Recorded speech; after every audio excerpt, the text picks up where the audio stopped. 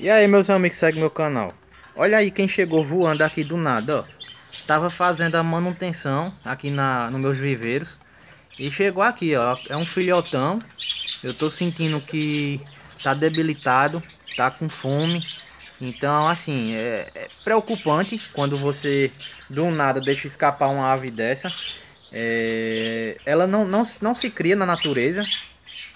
Ela é uma ave que não se cria na natureza então eu, tô sentindo aqui que o olho dela, ó, vocês podem ver, tá um pouco vermelho.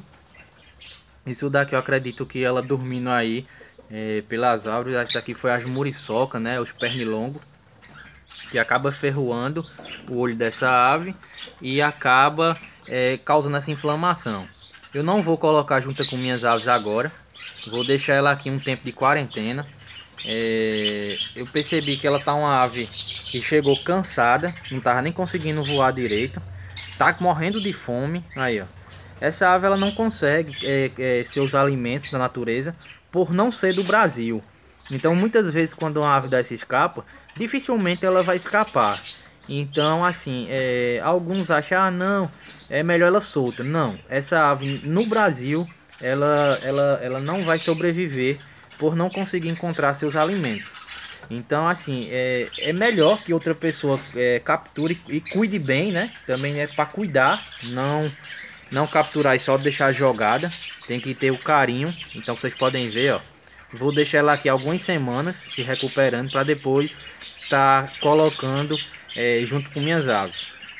É um filhotão então, é, consegui capturar aqui. Eu pensei que era até que eu tinha esquecido alguma das portas da, do meu viveiro aberto. Quando eu vi passando. Chegou voando do nada, chegou, assustei na hora. E depois percebi que não era das minhas aves. Acho que o meu cantando, né, atraiu essa ave. Eu simplesmente consegui. Depois vou dar uma, uma verificada mais de perto. Mas como vocês podem ver, ó, tá com muita fome. Essa ave, é, quando se pega no peito, você percebe que tá muito seco, muito seco mesmo. Isso é causado justamente por, por isso, por não ela não conseguir é, seu alimento. E como vocês podem estar tá vendo, eu acredito que essa ave ela veio de longe, pelo cansaço que ela tá. Ela não veio de perto, tá muito cansada, não tá nem conseguindo voar direito. Agora eu vou procurar aqui um bebedouro para colocar água para ela, que eu acho que ela, ela chegou muito ofegante. É, acredito que que a única problema dela é só essa inflamação no olho. Não estou percebendo sarna nela.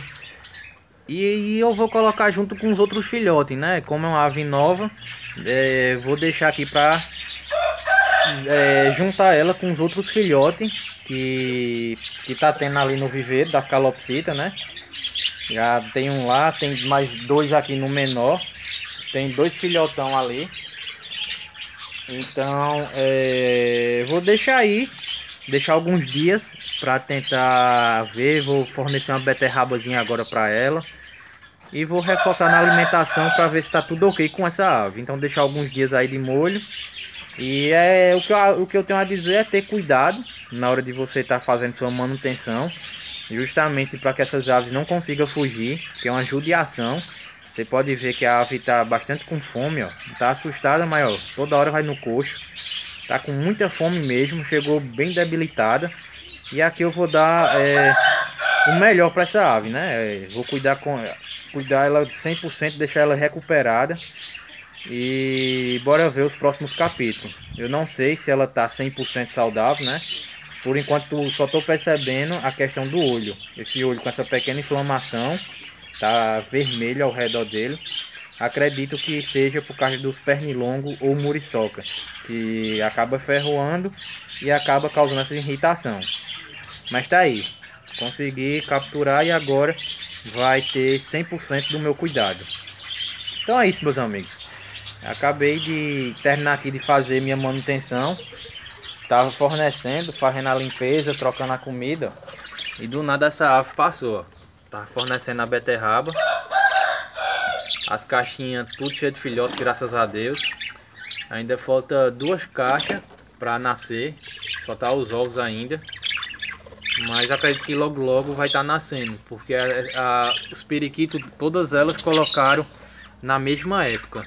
Então vou terminar, trocar água. Tava aqui fazendo essa manutenção, ó. Colocando aqui pro pai comer a beterrabinha. E depois tá é, fornecendo para os filhotes. Os calopsitas aqui já devoraram. Tá ali só um pedacinho, ó, os bicos tudo melado. Então assim, o dia a dia aqui é desse jeito, ó. Toda hora fazendo a manutenção, toda hora dando esses cuidados. Aqui também tem outro filhotão, ó. Esse daqui é o filhotão. Aqui é a aleijadinha. E aqui embaixo é a mãe do filhote. Que eu vou estar tá colocando. Vou estar tá colocando essa ave aqui. Eu vou estar tá colocando essa ave. É, ela eu vou colocar justo com esse daqui. Eu quero fazer essa mistura para ver o que é que vai sair desse casal. Se, vai, se tem que dar certo, né? Não adianta, não adianta apenas é, você juntar essas duas aves. Vou ter que acompanhar para poder perceber o entrosamento é, dessas duas aves, se realmente vai formar casal. Eu já percebi que ele está bastante, é, como é que se diz? Ele está bastante é, naquela vontade de, de, de, acasalar, né? Ele tá bastante fogoso, essa é a palavra. Ele tá bastante fogoso. Eu já percebi isso. Eu acredito que quando colocar uma fêmea aqui, eu acredito que vai dar certo. E a fêmea que eu escolhi foi essa daqui que tá nesse viveiro. É, eu separei ela.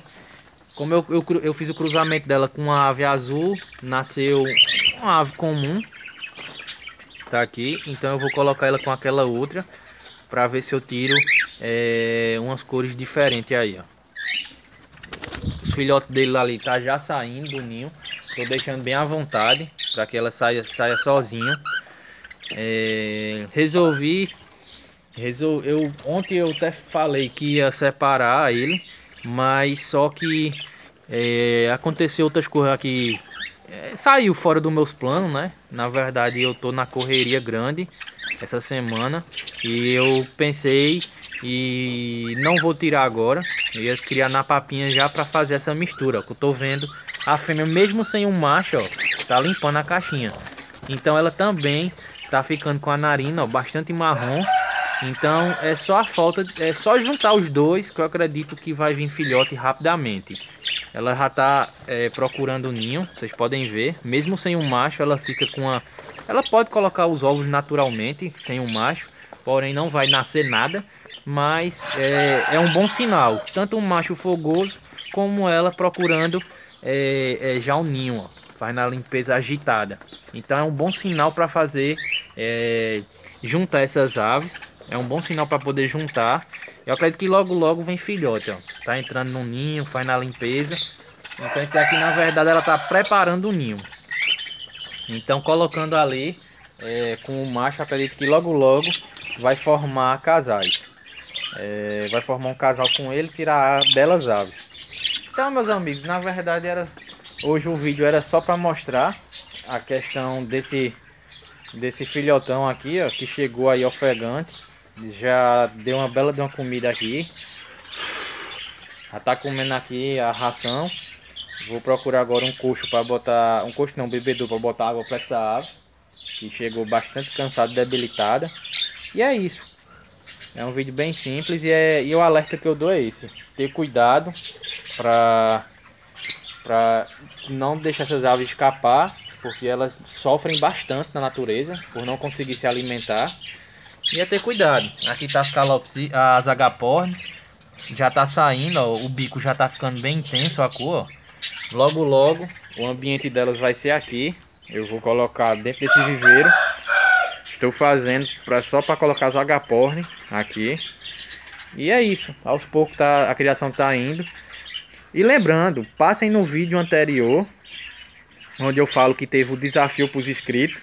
E deixa o seu like lá, 500 likes eu trago periquito inglês, é, periquito inglês, ó. Trago periquito inglês é, para criação e será e vai ser mais uma espécie para somar e a gente tá sempre passando dicas dessas belas aves. Então é isso, meus amigos.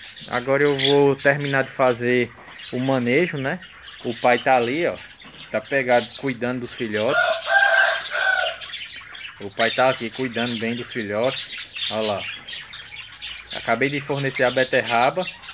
E aí ele alimenta, né? Dessa beterraba e vai ele vai estar tá passando justamente para os filhotes.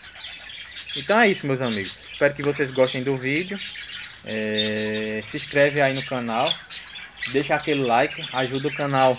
É, o like ajuda muito o canal, né? Que o YouTube ele vai estar tá divulgando, ele vai estar tá divulgando, é, indicando o, o canal pra, para outros, outras pessoas, né? E assim o canal vai crescendo aos poucos. Então deixa aquele like, me ajuda bastante a estar tá trazendo mais pessoas né, para o, o, canal. E você que já é inscrito, eu agradeço de coração pelo carinho, tá sempre aí acompanhando o canal. E você que ainda não é inscrito, se inscreve, vem fazer parte da família GV, que a cada dia cresce. E é isso, vamos bater esses 11 mil logo logo. E até o próximo vídeo, fiquem com Deus, um abraço. E logo logo vamos falar sobre é, o viveiro. Esse viveiro que eu estou construindo. Vou passar direitinho as medidas para vocês. E, e até bom para poder vocês é, tá economizando. Um viveiro desse você paga em torno de 70 a 100 reais. Já construí aqui a estrutura. Eu acho, é, não gastei nem 50 reais para fazer essa estrutura aqui. Agora vai faltar só a tela, é, coisa pouca. Aqui, ó, botar a portinha, aqui, botar a tela, vai ficar perfeito esse viveiro. Quero gastar no máximo uns 120, estourando 120 reais. Então, um viveiro desse, que, que mal cabe um casalzinho, é muito pequeno, é, eu gasto em torno é, de 70 a 100 reais. Nesse daqui grande, que cabe uma grande quantidade de aves, eu não estou gastando. Até agora só gastei, gastei 48 reais, para dizer a verdade. 46, 48 reais para fazer essa estrutura. Então foi bem legal o preço. E é isso. Próximo vídeo, vamos falar sobre esse viveiro.